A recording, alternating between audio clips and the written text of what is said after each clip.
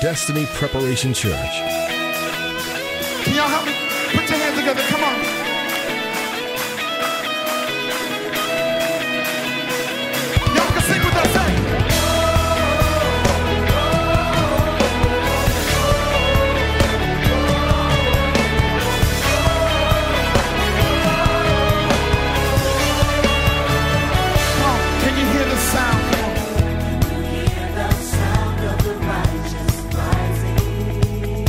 Come on, can you hear the sound of freedom?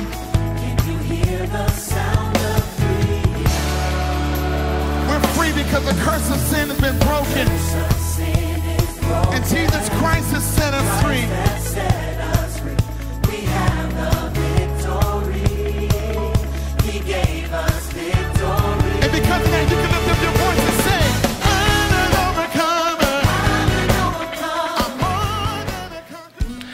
this is Pastor David Stewart of Destiny Preparation Church, welcoming you once again to Road to Destiny, brought to you by Destiny Preparation Church.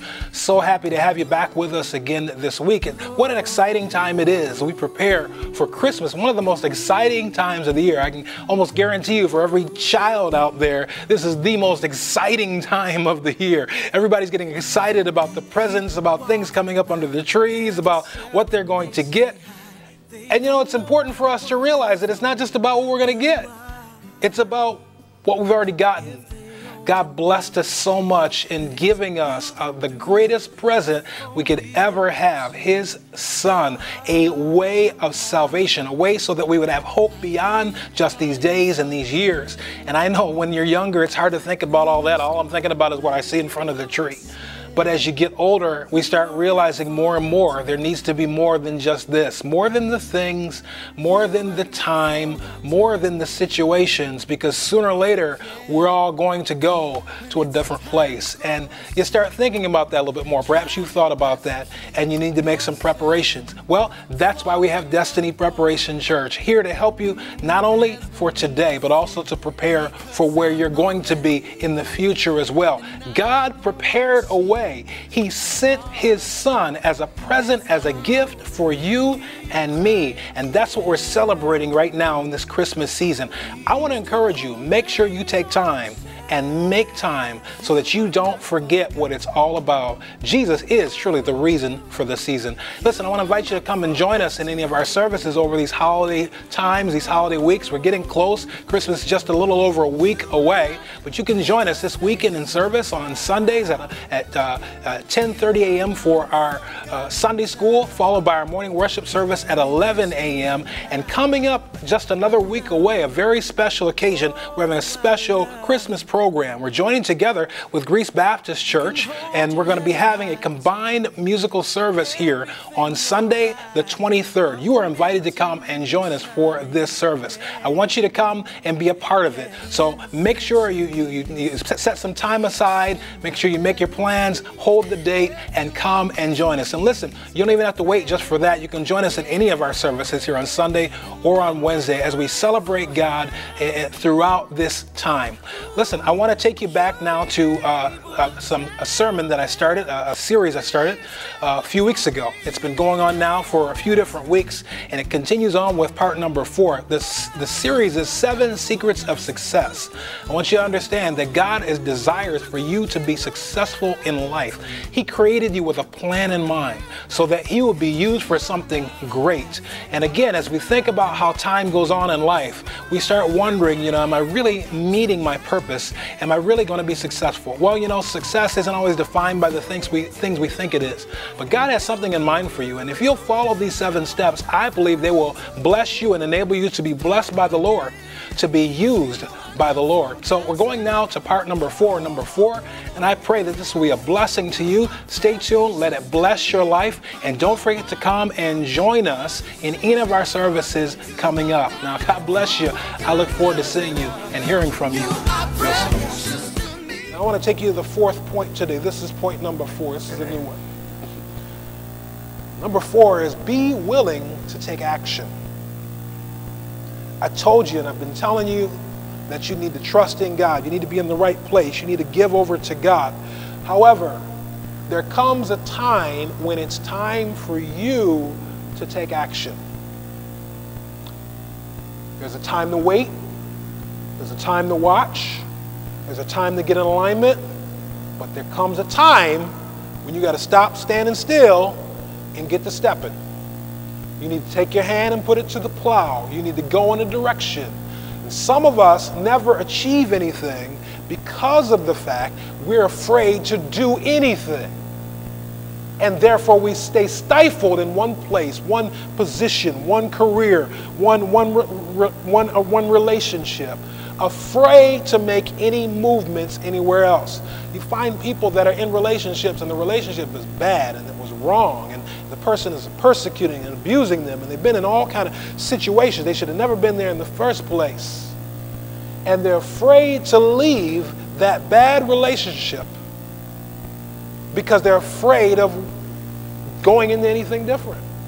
Find people who connect up with folks, sleeping together, living together. It's bad, it's wrong. They know it's wrong in every sense of the word.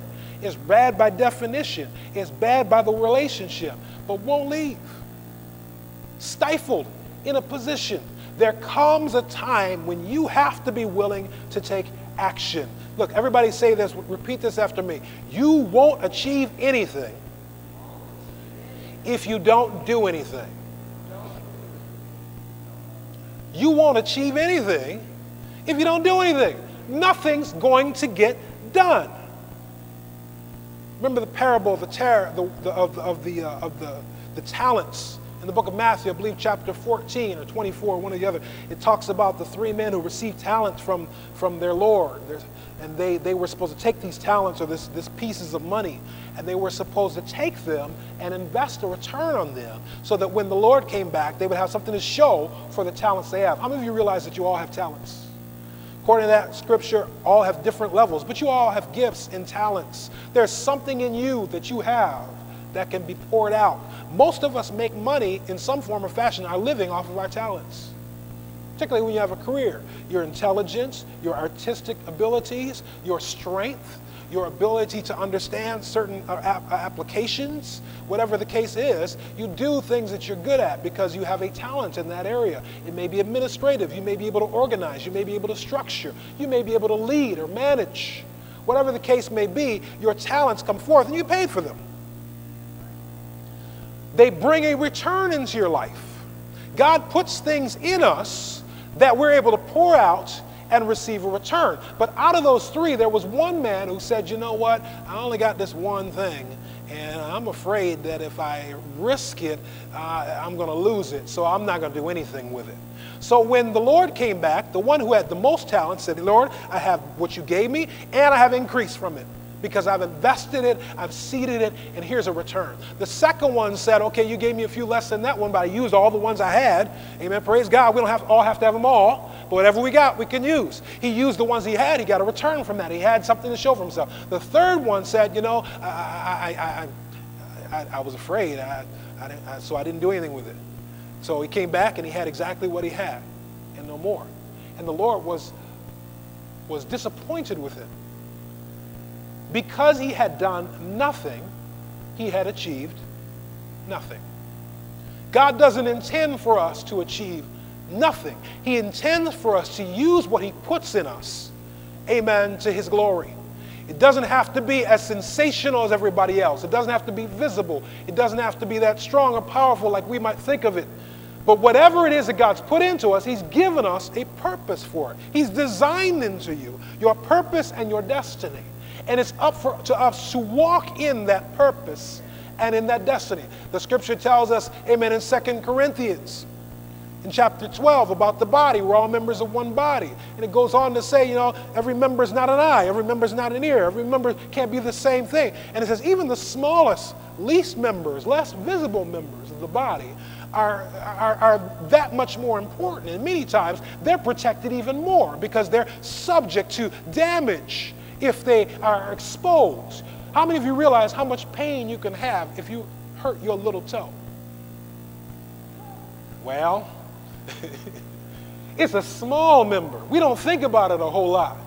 But hit it against something and see if you think about it then. Amen?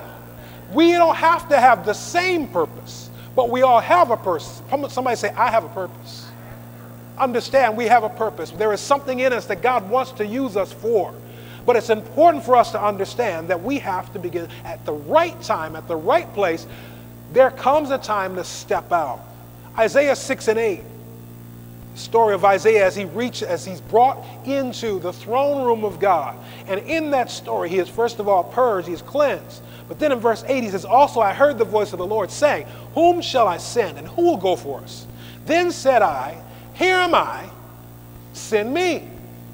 Now, the interesting thing about that story, as we read it, verse 1 through 8, or 3 through 8, it says the first thing that needed to happen was he had to be purged.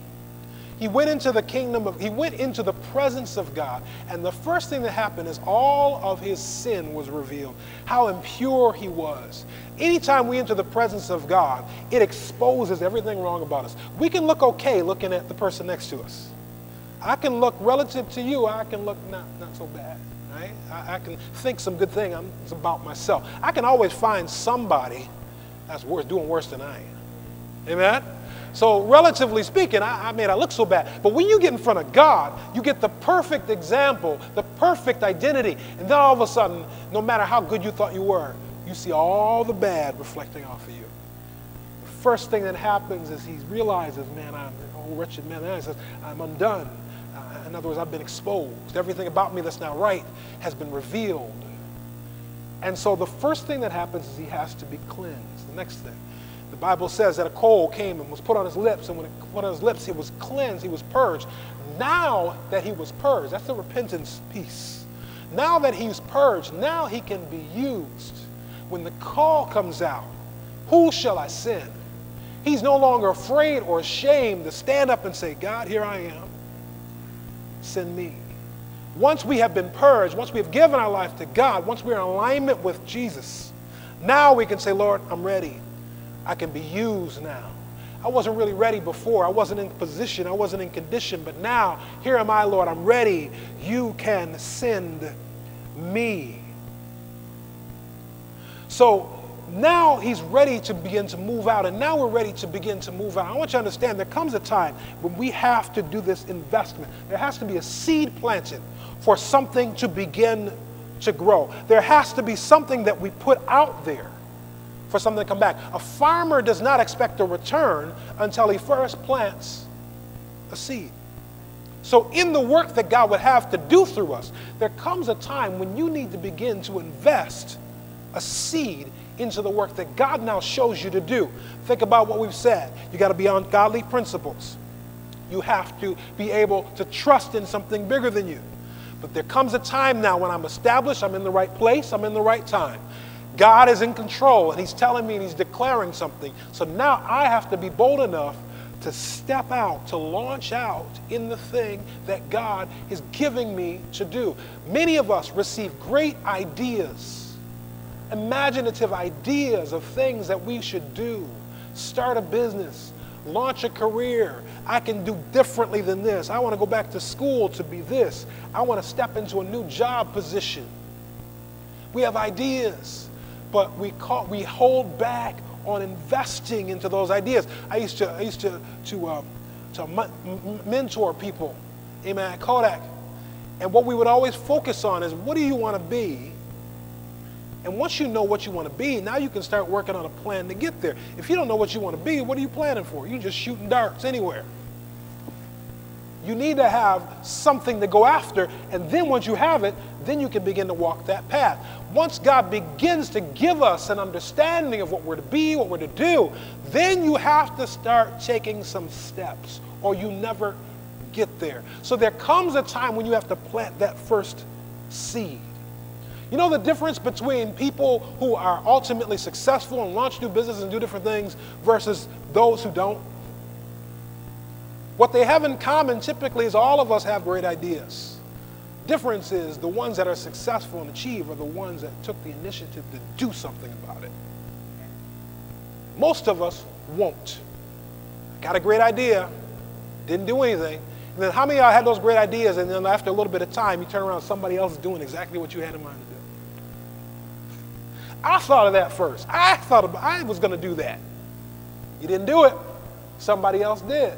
You have to have a mindset to plant a seed, to invest, to launch along the path that God is instructing you to do. And if you don't have enough faith to plant a seed, then you'll never see a return. Amen. We talk about giving and seed faith giving.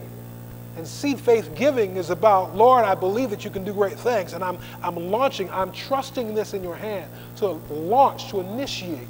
We talked about earlier first fruits. When you give to God out of the first that you have, you're saying, God, I thank you and I trust this into your hands because I know there's even more that's going to come after it. There are times when you have to launch out. If you want a new career, you may need to go back to school. And either you're going to do it or you're going to talk about it for the rest of your life. You ever seen somebody just talks about the rest? Oh, I could have been, I could have done, I would have, I would have been great at, I should have. You know, those are people that didn't take the step. There comes a time you have to take the step.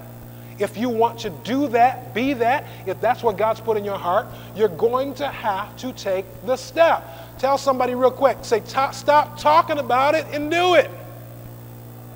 Come on, tell them like they need to hear it. Stop talking about it and do it. Oh, y'all so shy, y'all so quiet. Amen. Somebody needs to hear it. Stop talking about it and do it. A couple things that cause us, that hinder us, and I think you'll find some of them familiar, that hinder us from taking that first step, that, that action. Number one is fear. Fear will cause us to stop, to hinder from doing what we should be doing. Faith and fear cannot work together. The things that we do under God have to happen in faith. But fear will cause us to, to be hindered. Fear, in fact, will bind up the power of faith. Fear will cause the situation to be bound up. And so a lot of times we would have done it, we could have done it, we could have achieved it, but we got afraid. And because we were afraid, we didn't, we didn't, we didn't go anywhere with it. Faith needs to be in an atmosphere that's beyond fear. That's why sometimes you gotta, you can't tell everybody and deal with everybody in the stuff you're about to do. Because their fear will, fear will rub off on you. They'll have you afraid of it, have you doubting, have you questioning. So uh, sometimes you need to keep some things to yourself. Fear will bind up the power of faith. You cannot be afraid. You cannot be hurt. You cannot be, you can be, you can be all these things, disappointed, hurt.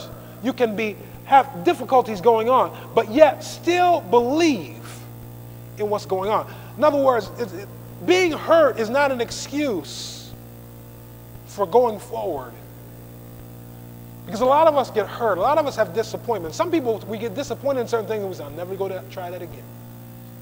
Mm-hmm. No, that, was, that went so bad. I will never speak of that one again.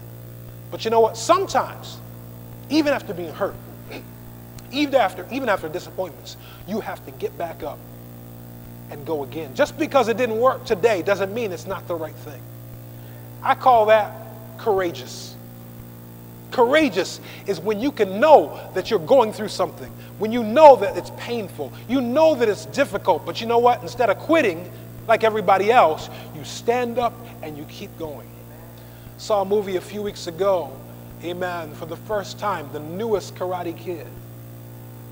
Watched that movie, and was checking it out, you know, gets near the end, you know, you know everything's gonna happen if you saw the old one. You want, you know, where it's going. You get to that final battle and fight, and now here they are, and this guy is fighting, the young, little young kid is fighting this big, experienced karate kid who really wants to hurt him at this point.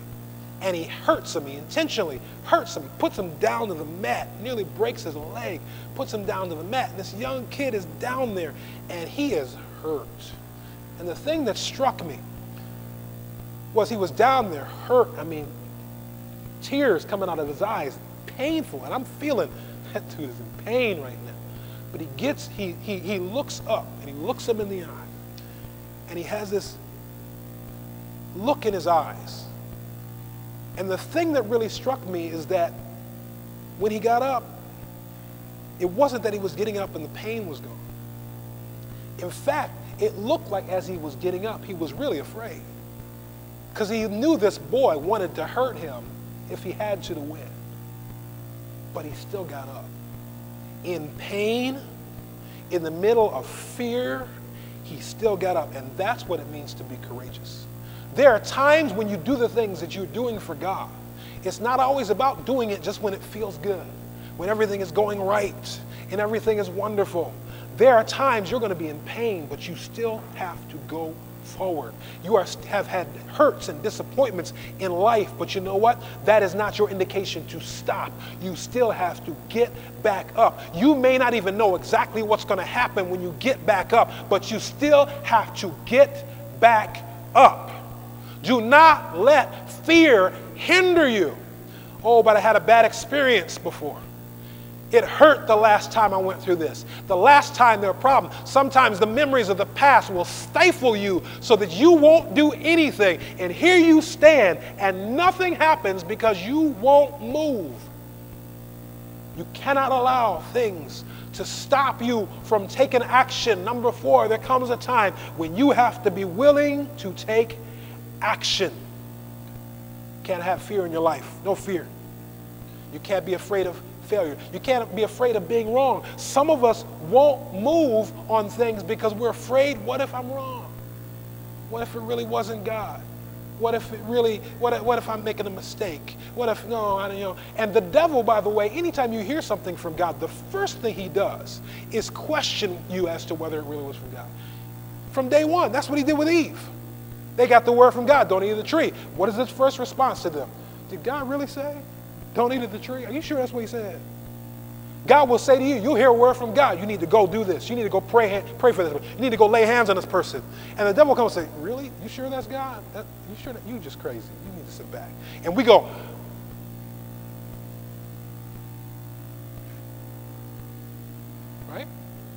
God speaks to you to do something, and you say, Yeah, I know I heard from God. And you start heading that direction. The devil says, No, you don't want to do that. What's the matter with you? You're not even good enough to do that. What do you think? What were you thinking?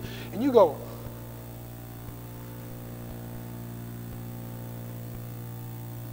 We get stifled because of fear of being wrong. What if what I heard wasn't from God? Let me tell you, what's the worst thing that happens if it was? What's the worst thing that happens if it was? You launch out. Things don't go exactly as you planned. You never even know how, in the midst of things not working the way you expected them to, if it was God. Because just because it didn't happen the way you expected to doesn't mean that it wasn't God. So you've got to learn how to walk by faith, not by fear. Fear cannot intimidate you. 2 Timothy 1 and 7 says, For God hath not given us the spirit of fear, but of power and of love and a sound mind. 1 John 4 and 18 says, There is no fear in love, but perfect love, trusting God, casteth out fear. Listen, because fear hath torment. Fear hath torment. Fear will torment you to the point where you will quit. You will give up. You become so afraid that you can't even move anymore. You become stifled because of your fears. Many times, your fears are fears of the past, what happened before, what happened last time. You cannot be held back by your fears. There comes a time when you have to take action. Second thing is mistakes. You can't allow mistakes of the past to cause you not to move into the future. Don't let your mistakes destroy you. Okay, you got it wrong. You did the wrong thing. You moved outside of God's grace. You made the mistake and you tried it yourself and it didn't go well. You may have made some mistakes that have changed your life. I blew it. And here I am carrying my mistake. It's on my back now. I can't get rid of it. But don't let your mistakes be an excuse not to go forward from God, for God. Listen, all men and women, all of us make mistakes, all of us. But great men and great women rise from their mistakes.